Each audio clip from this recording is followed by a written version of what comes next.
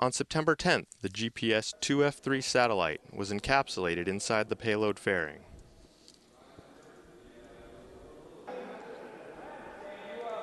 The encapsulated payload fairing was transported to Space Launch Complex 37 and mated to the Delta IV launch vehicle on, vehicle on September 18th.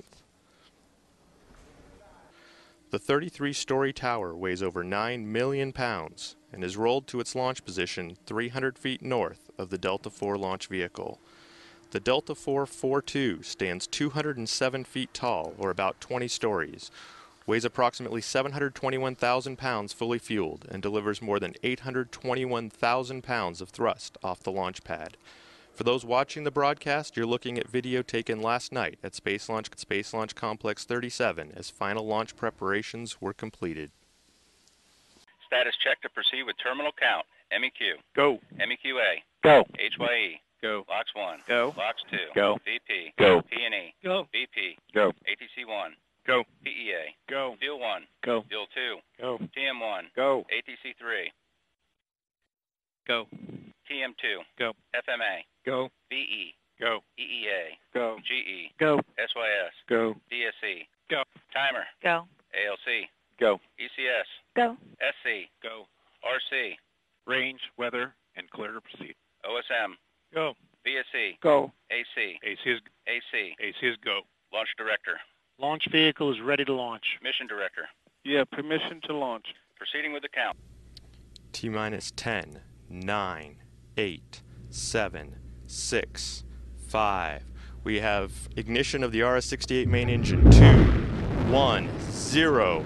Liftoff of the United Launch Alliance Delta IV rocket carrying the GPS 2F3 satellite for the United States Air Force.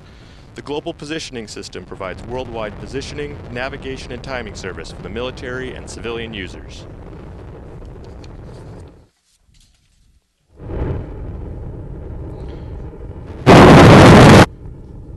You'll be hearing the voice of Steve Agid providing launch vehicle ascent data. Looking good. 30 seconds into the flight. Good performance in the first stage, very little engine movement. 37 seconds in. Chamber pressure beginning to decline now in the solid rocket motors as expected. 47 seconds in, Mach 1, vehicle now going transonic. 52 seconds in, still looking good. Coming up on the one minute mark. Mark, one minute, max Q, maximum dynamic pressure on the vehicle. About 30 seconds remain now for our solid rocket motors. One minute, 10 seconds into the flight. Altitude now 9 uh, nautical miles, velocity 3,140 feet per second, downrange distance about 5 nautical miles.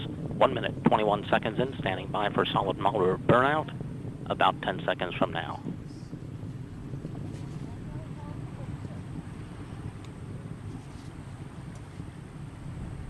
Yeah, burnout. Standing by for SEP.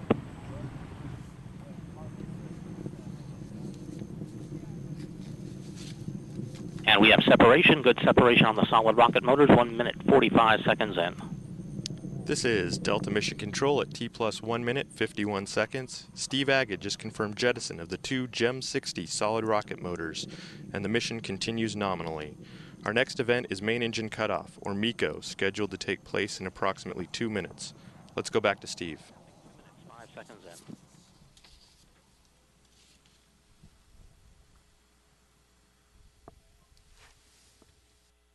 Altitude now some 28.3 nautical miles, velocity 6,333 feet per second, downrange distance 36 nautical miles.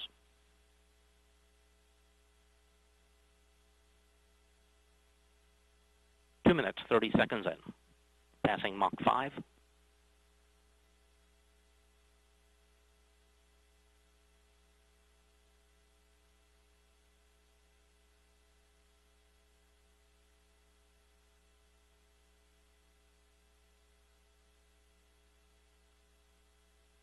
Two minutes, 50 seconds in. Still looking good. Good engine control in the first stage. Chamber pressure is holding just where we want them to be. Coming up on the three minute mark. Mark, three minutes. Still looking good. Passing three minutes, five seconds, just passing Mach 10. Good engine control in the first stage. Less than one minute remains in uh, first stage flight.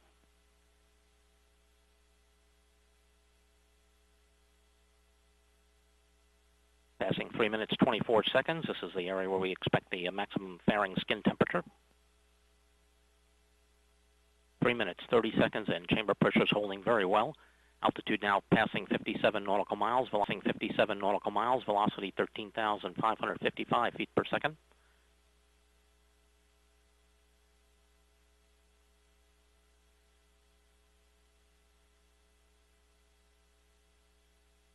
Three minutes, 50 seconds in, passing Mach 16. Standing by to go to partial thrust. And we have partial thrust command. We're responding, standing by for main engine cutoff. And we have MECO, standing by for 1-2 SEP. And we have 1-2 SEP command. And we have the NEDS deploy and work. NEDS is deploying. Locked in place. EMA is unlocked.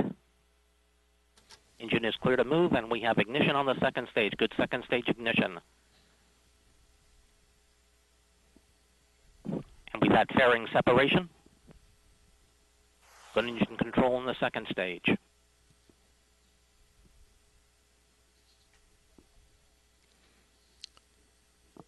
Recovering nicely from the initial transients as we're coming up on the five minute mark. This is Delta Mission Control at T plus 5 minutes and counting. We've just heard Steve Agid report the successful execution of the events comprising the early portion of this morning's mission. The early portion of this morning's mission. We are now in the first of three planned RL-10 engine burns, and the mission continues nominally. This burn will last approximately. This is Delta Mission Control at T plus 11 minutes 29 seconds and counting into the Delta 4 GPS 2F3 mission. We are currently in the first of three planned RL-10 engine burns, and the mission continues nominally. Our next event, Second Stage Engine Cutoff, or SECO 1, is scheduled to take place just about a minute from now. Let's go back to Steve Agid for the call. We'll be standing by for uh,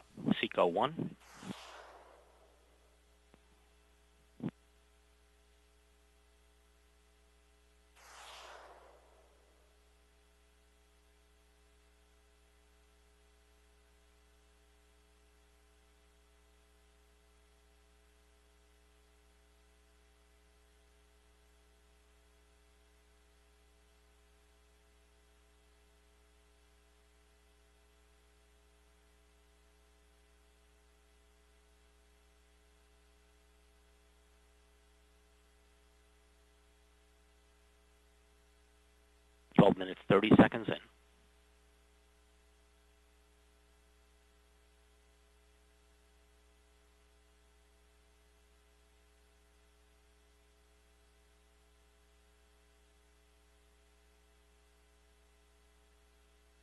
Twelve minutes forty-eight seconds in, and we have SECO.